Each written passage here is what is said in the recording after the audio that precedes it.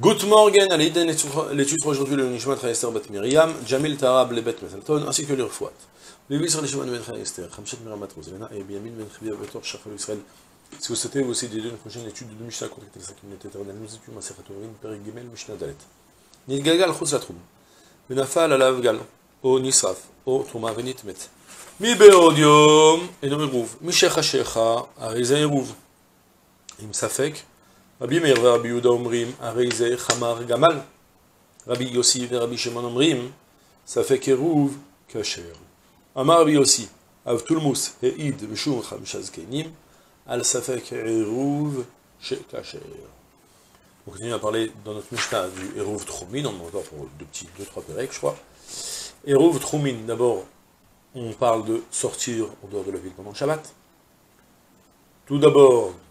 j'ai le droit, si je veux, Shabbat, de me promener dans toute ma ville, tant que je, suis dans une agglomération qui ne s'interrompt pas, je peux marcher dans toute cette, tout ça se considère comme la ville, et même mieux que ça, je peux même sortir de la ville et marcher 2000 amas. Je peux partir 2000 amas, au nord, au sud, à l'est, à l'ouest. Mais pas plus. Si je décide de changer de programme et de prendre 4000 amas d'un côté, j'ai besoin, comme je l'avais pris le cas, j'ai besoin de sortir de chez moi à Yerushalayim, je suis à la limite, j'habite Ramot, je vais partir à Shmuel Navi, ou au Kaver Shmuel Navi, encore plus loin. Et donc du coup, j'ai la possibilité de, euh, faire un Hérouv Troumin, un procédé qui va me permettre de pouvoir sortir en dehors de la ville, plus loin encore, d'avoir 2000 amas supplémentaires. Le principe, très succinctement, c'est qu'en fait, je t'ai dit que partout où tu es, tu as 2000 amas autour de toi à la ronde, eh ben, au lieu d'être dans la ville et d'avoir 2000 amas dans la ronde, à la ronde, tu vas te mettre en dehors de la ville, à 2000 amas, et de là-bas, tu vas prendre ton compas et tu vas faire tes 2000 amas. D'accord? Tu vas faire tes 2000 amas à partir de là-bas. Donc du coup, il va s'avérer que, que, puisque tu vas mordre dans la ville, tu vas le droit de marcher dans toute la ville. Et en plus de ça, tu as même 4000 amas d'un côté. Par contre, tu ne pourras plus partir de l'autre côté de la ville et sortir même un seul pied en dehors. Un pied, oui, peut-être, mais pas trois, comme on va voir dans le sud de la Mishnah. Et pour le moment, je commence maintenant la Mishnah. Nidgalgal chutz. Il avait déposé un, un il avait pris un pain, ce qu'il faut prendre, il l'a déposé là-bas en guise de hérouve, à une place spéciale, Venit gal gal la Et il a roulé au dehors de, du troum.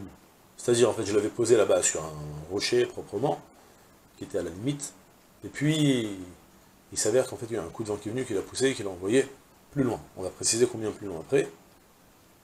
Et je continue d'abord le cas de figure. Je préfère d'abord présenter la Mishnah, après on va rentrer dans les détails.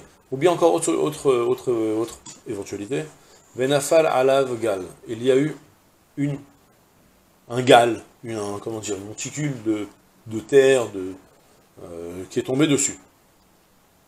Ok? Une maison qui s'est dessus, par exemple. Au Nisra, faut encore, le héros il a brûlé, ou bien, au Trouma Venitmet, ou bien c'était une Trouma, il avait fait un héros avec la Trouma, mais qui est devenu impur. Le point commun de tous ces quatre cas de figure sont qu'il ne peut concrètement plus aller les manger. Soit parce que maintenant, le pain, est sorti en dehors de sa limite, c'est le premier cas, soit parce que le pain, maintenant, il est sous les décombres d'un tas de terre, que pour pouvoir sortir tout ça, il faut amener une pelle et creuser pendant Shabbat, et c'est un de la Torah, ou encore il a brûlé, donc il n'y a plus rien à manger, ou encore, c'est une trouma qui est devenue impure, il n'y a plus rien à faire pendant Shabbat. Tu ne peux même pas la donner à manger à un animal ni rien. Et la mitzvah d'une trouma brûlée, c'est que de la d'une trouma impure, ce n'est que de la brûler, il n'y a plus rien à faire. Donc dans tous ces cas de figure, tu ne peux plus concrètement manger ton pain à Shabbat.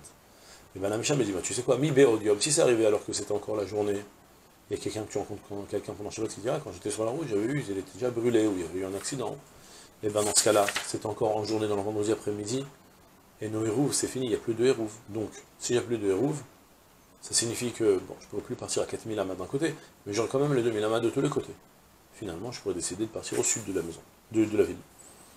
Mais Shecha Shecha, par contre, si il a brûlé depuis la tombée de la nuit, ou bien il est sorti depuis la tombée de la nuit, on a des témoins que la nuit elle était complètement tombée, elle était déjà tombée, mais Shecha Shecha, ça s'est assombri, c'est-à-dire que la nuit elle s'est couchée, elle la nuit est venue. Areïsé Hérouve, le hérouve sera bon. Pour quelle raison? Parce que un hérouve, pour pouvoir acquérir, euh, pour me permettre de marcher aux 4000 amas, par exemple sur le côté nord de la ville, il faut juste qu'à l'entrée du Shabbat, quand Shabbat rentre, que j'ai mon hérouve qui me fasse acquérir le, les nouvelles limites. Une fois que, à l'entrée du Shabbat, j'ai acquis les nouvelles limites, c'est fini, après je m'en moque, le hérouve peut même disparaître pour les hérouves Pour d'autres hérouves, c'est pas comme ça, mais pour les hérouves troumines, il n'a pas besoin de rester constamment, euh, constamment là et mangeable. Il faut juste qu'à l'entrée du Shabbat, il soit mangeable. Il soit mangeable, et, euh, donc euh, le principe, on l'avait déjà expliqué aussi. Je l'ai déjà dit entre les lignes quand j'ai refait mon introduction, mais c'est le, principe, retenez-le. Là où tu vis, tu as, 2000 amas à la autour. La question c'est où tu vis. Si tu dors chez toi à la maison, normalement, ta maison, tu as 2000 amas autour de ta maison, pas exactement ta maison, parce que toute la ville c'est considéré comme ta maison. Donc tu as 2000 amas autour de la ville. Si tu mets un pain là-bas, alors Adam Nigra, l'homme il est, il est entraîné par sa nourriture. Tu as fait un acte symbolique, symbolique qui montre que tu habites là-bas, 2000 amas à l'extérieur. Puisque tu habites là-bas, alors c'est là-bas ta maison. Et donc tu auras 2000 amas depuis là-bas. Ok C'est le principe.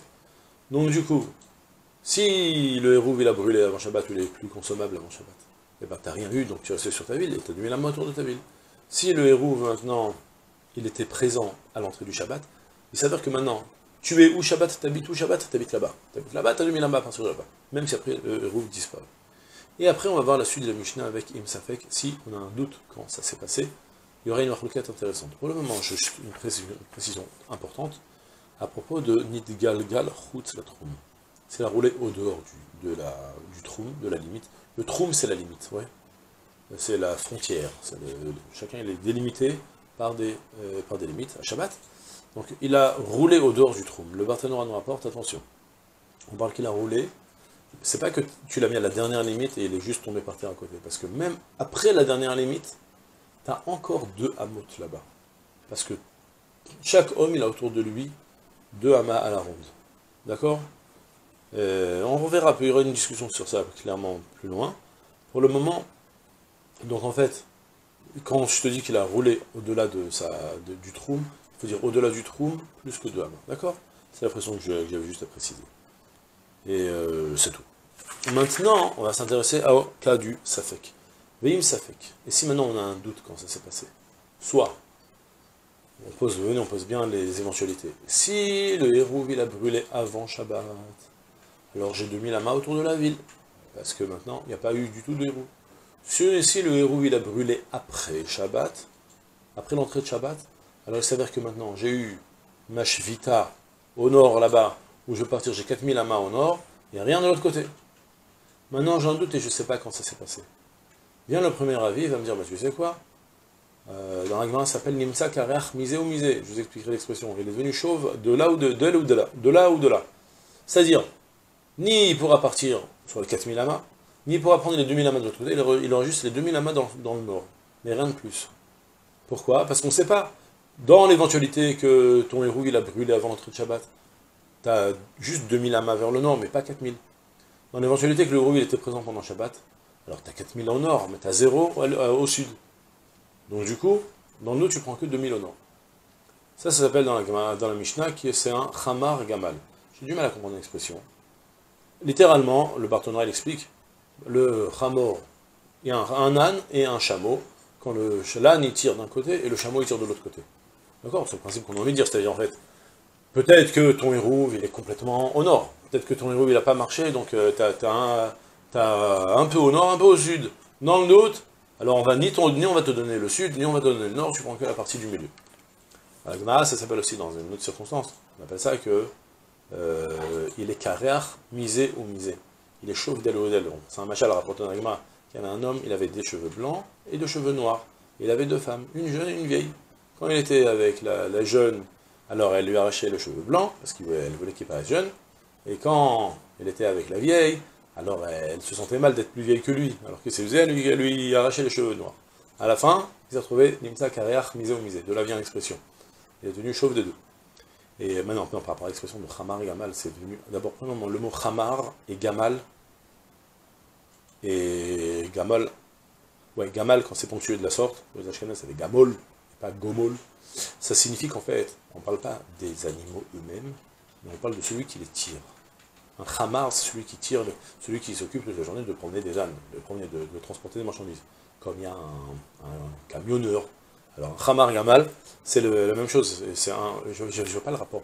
Si tu veux dire qu'il y en a deux qui tirent des deux côtés, tu ne pouvais pas prendre deux ânes qui tirent des deux côtés, pourquoi il a fait prendre un, chameau et un âne Il y a quelque chose qui m'échappe dans l'histoire, j'avais oublié, je voulais voir, quand j'étais dans un bâtiment, je l'avais un peu plus expliqué pour que j'ai oublié. Donc du coup, bon, c'est ce que je vous ai dit, ce qui est écrit dans le Barthénora, les, les n'ont pas expliqué plus. il y a trop de sujets à traiter dans le Mishnah pour pouvoir s'intéresser à, la, à, cette euh, parabole du Khamargal.